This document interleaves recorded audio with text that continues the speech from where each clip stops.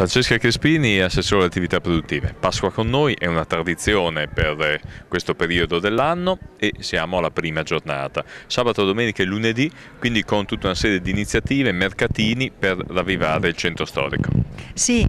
certamente inizia proprio oggi e mm, alle 5 ci sarà l'orchestra, il concerto dell'orchestra della Cappella del Santissimo Sacramento, i mercati si sono hanno aperto alle ore 9 e c'è un buonissimo flusso flusso di, di gente, siamo molto contenti, gli alberghi tutto, sono tutti prenotati, tutto esaurito, questa sera ci sarà anche per la prima volta in questo, in questo contenitore eh, uno spazio dedicato ai bambini eh, per tre giorni eh, a Piazza Rinascimento dalle 16, il primo spettacolo, alle 17.30 il secondo spettacolo, ci saranno i burattini, quindi Pinocchio, la Bella e la Bestia, speriamo ecco, così di, di fare sempre meglio e di eh, fare un'offerta offerta sempre più varia e variegata.